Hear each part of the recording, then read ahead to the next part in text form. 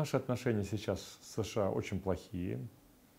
Э, хуже, наверное, всех э, после Холодной войны, если только не брать период, когда американцы спровоцировали Саакашвили на войну в Южной Осетии, обвинили в этой войне не себя, как правда, а Россию.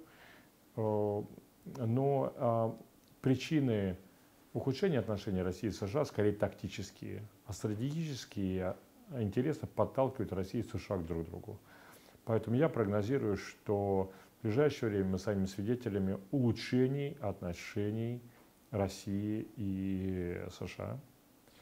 И а, это улучшение отношений а, произойдет под руководством как раз Путина и Обамы, которые оба хотят такого улучшения. И бостонский теракт поэтому, потому что они хотят, он будет использован ими для улучшения отношений. Обама скажет, видите, Россия готова нам помогать. Путин скажет, ну, видите, американцы тоже под атакой, мы должны э, сближаться друг с другом. И э, я думаю, что в ближайшие месяцы мы станем свидетелем улучшения отношений России и США.